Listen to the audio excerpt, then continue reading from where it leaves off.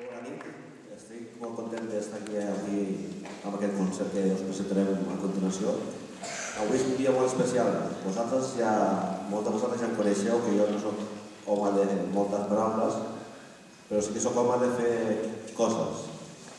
Us vull explicar quatre cosetes de que el nou equip directiu hem estat fent des del mes de juliol, que ha sigut eh, la música per nadons i la musico, musicoteràpia, que ja s'han engegat i ja, ja estan funcionant.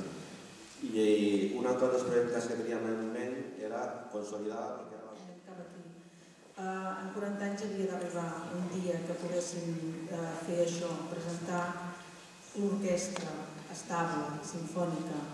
Ja fa uns anys que tenim conservatori, per tant això era, era una necessitat, era una obligació, era aquest pas que, que pot ajudar també, eh, si, és, si tenim un conservatori vol dir que tenim els graus professionalitzadors i tenir una formació estable d'aquesta mena eh, ajuda eh, aquest camí professionalitzador en el món de la música.